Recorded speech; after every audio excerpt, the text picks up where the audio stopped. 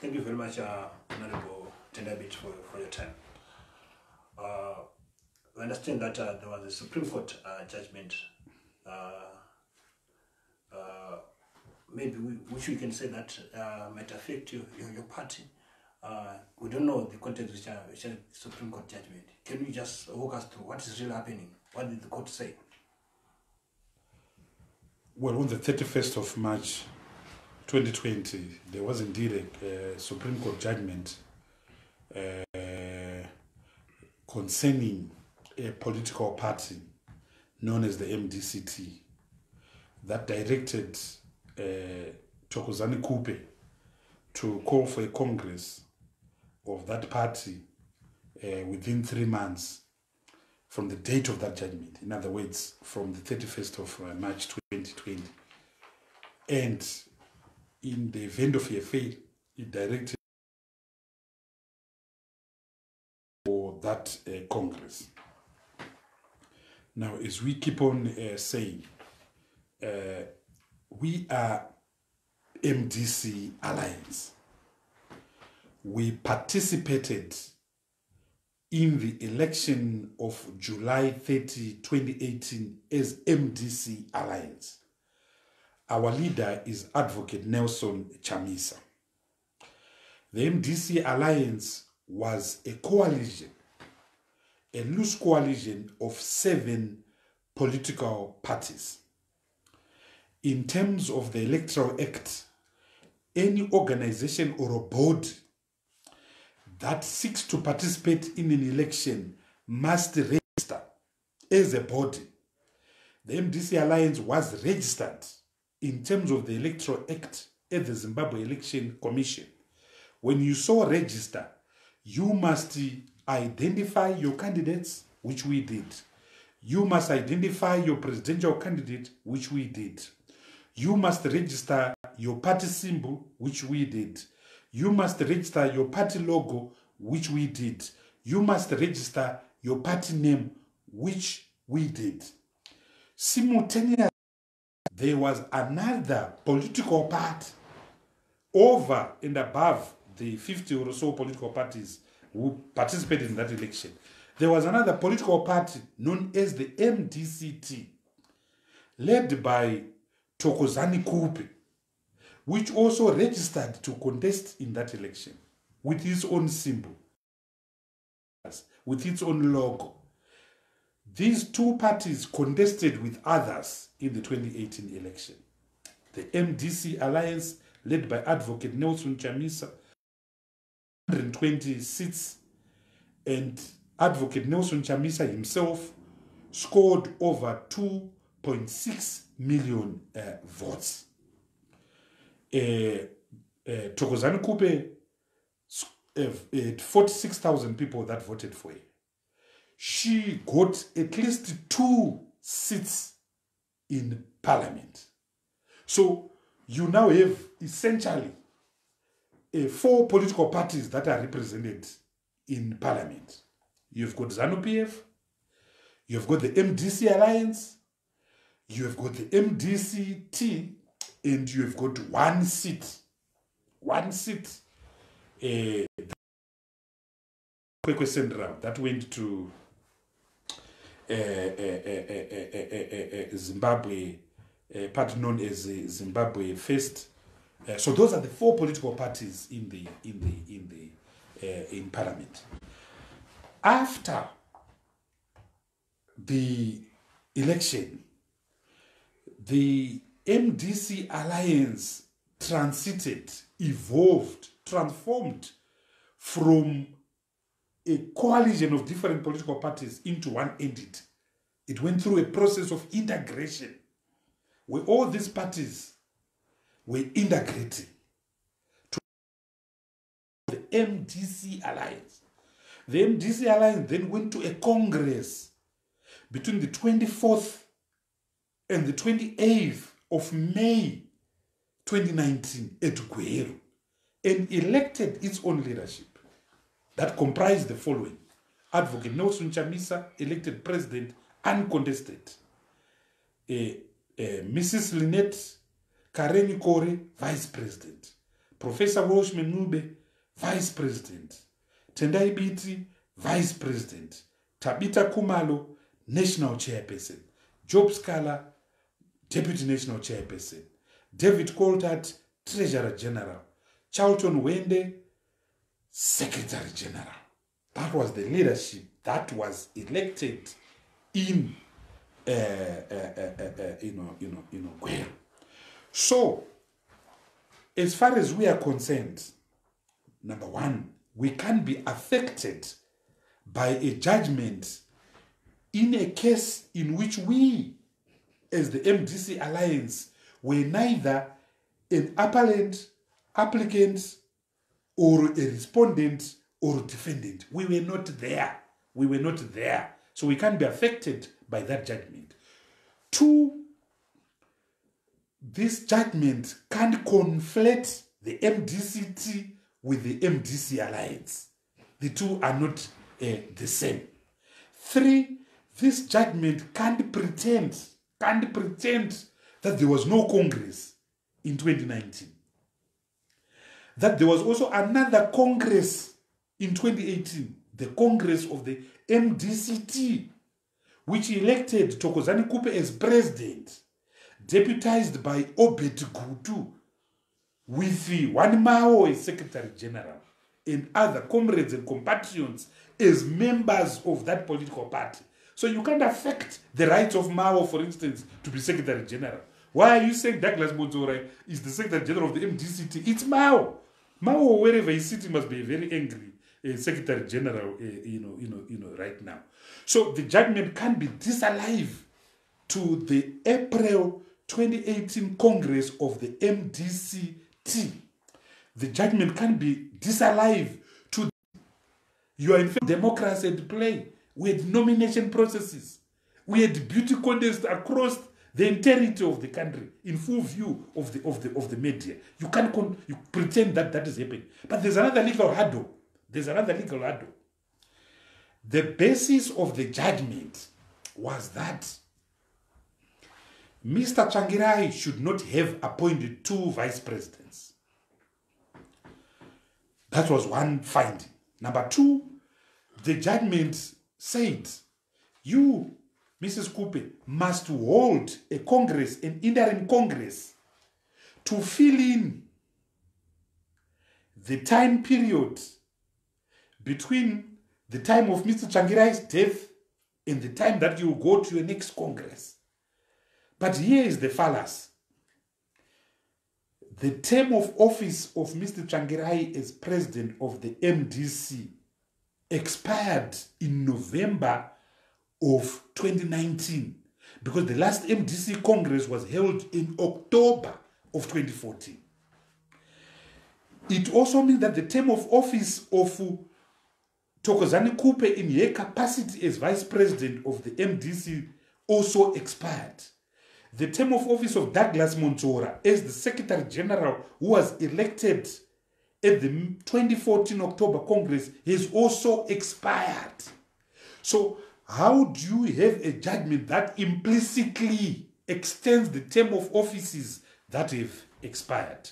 So, in short, we have a brutum fulmen, we have a dog's breakfast, but as far as the MDC alliance is concerned, we have our leader, Advocate Nelson Chamisa, and the leadership that was elected in Gweru between the 24th of May and the 28th of May.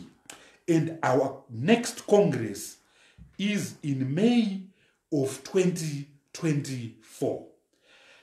Political issues are not determined in courts of law. I was the lawyer, Estendai who represented Kudakwashe Basket when he was expelled from ZANU PF in early 2015. And on behalf of Kudakwashe Basket, I went to the High Court of Zimbabwe and all the way to the Constitutional Court, arguing that Kudakwashe Baskiti had been expelled from ZANU PF without due process, without a disciplinary hearing having a set. The same court, the constitutional court, told Kudakwache Basket, told me that you had a duty and an obligation to exhaust the domestic remedies. Number one, go and resolve your problems at the party. Number two, and nobody is talking about this.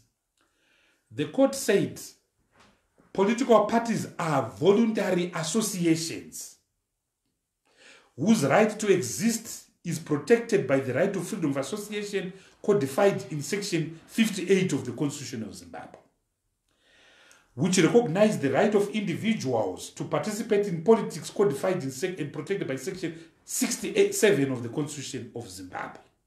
So if there's a disagreement in a political party my brothers and sisters that the people of zimbabwe are with the mdc alliance the people of zimbabwe are with advocate nelson uh, chamisa.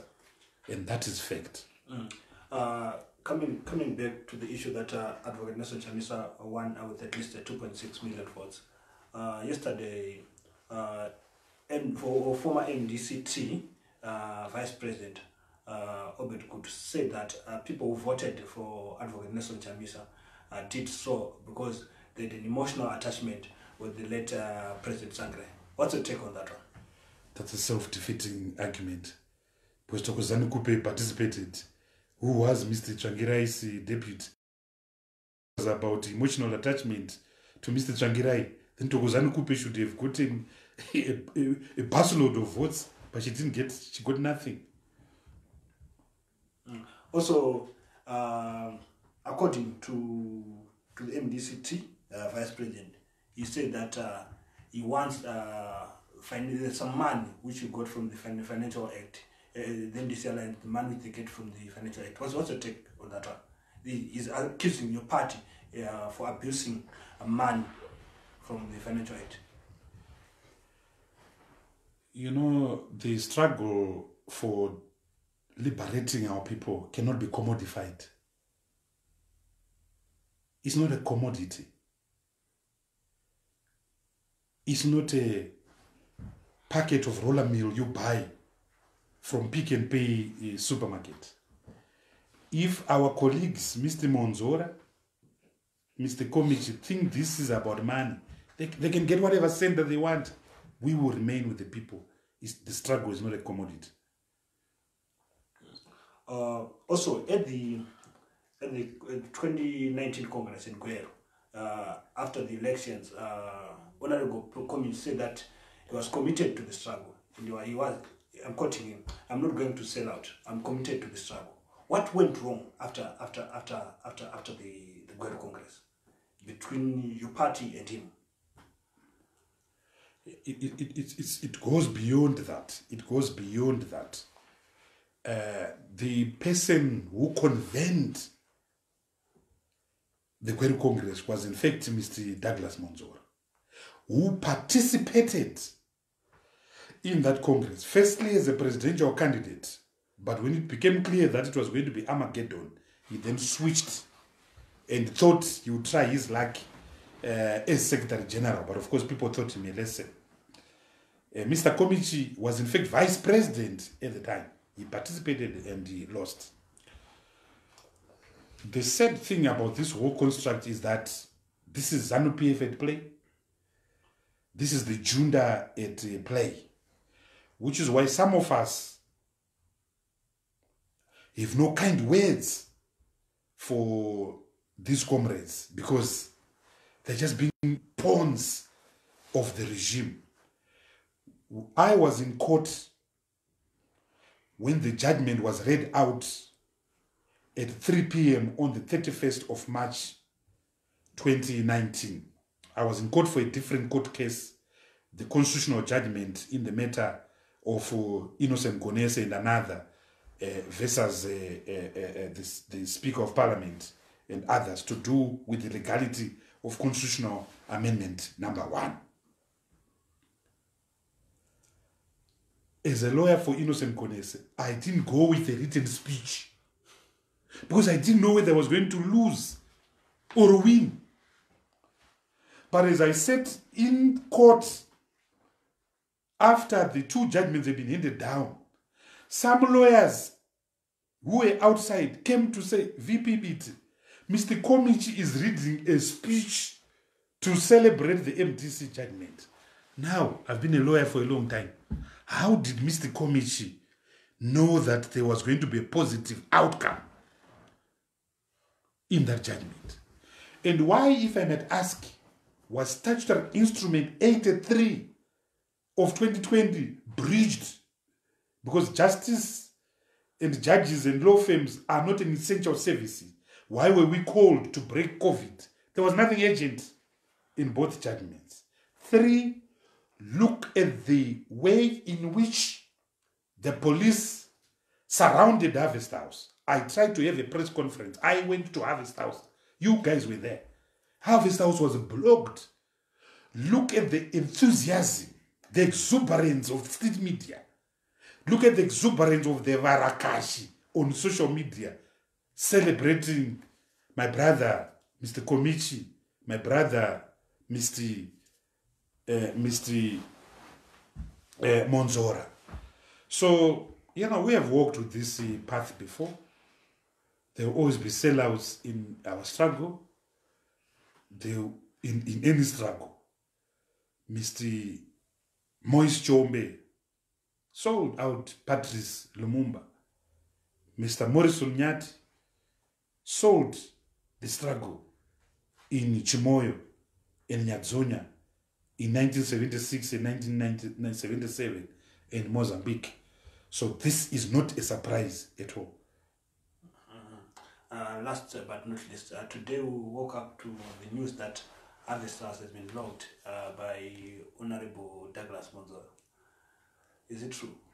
It's not correct. We're in full control uh, of Harvest House, but I have no doubt that in the next few days you are going to see uh, through the through the police and the military and the CIO, Mwonzora try to take uh, you know Harvest House.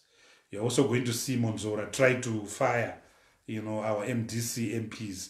You're also going to see Mwonzora try and get the resources due to the MDC alliance in terms of the Political Parties Finance Act.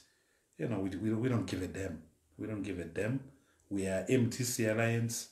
We'll stand with the people. Does he has power to fire MDC MPs? He, he doesn't have a power. He doesn't have a power at all. The MDC alliance can only act through those officials that were elected at the Gweru Congress. So neither Mrs. Coupe can do anything affecting MDC alliance. She was not in Gweru. Mr. Manzora was in Gweru, but he lost Dismal. Mr. Morgan Komichi was in Gweru. He lost Dismal in the, the blood pressure, hypertension, which has not recovered uh, from. He is not an office bearer of the Movement for Democratic Change Alliance led by Advocate Nelson Chamisa. Okay, uh, the two are senators. What is their what is their fate? Are you going to recall them from Senate or anything? Is MDC alliance? Uh, we have a constitution we have a constitution that says that uh, if a person if a member belongs to another party he automatically ceases to to belong to uh, to you know to our party mr komich and mr mwonzora have clearly uh, shown that they belong to to the mdct led by dr thokozani khupe uh, mr komich's statement was very clear so so there's been due process. Uh, they've self-expressed, self-expelled uh, themselves from our from our movement. As of what will happen with their fate in Parliament, uh, you know, I can't speak on behalf of our of our of our of our party. Uh, the party will make its uh, decisions. But what I can confirm as as a lawyer uh, and as someone who knows the constitution of the MDC alliance is that if you join another political party you self-expel. And Douglas Mwonzora and uh, Morgan Komichi have self-expelled themselves from the MDC alliance. After the Supreme Court uh, ruling, have you ever tried to get rid of uh, in either of the two, Mr. Komich or, or Mr. Mwonzora, to make the way forward?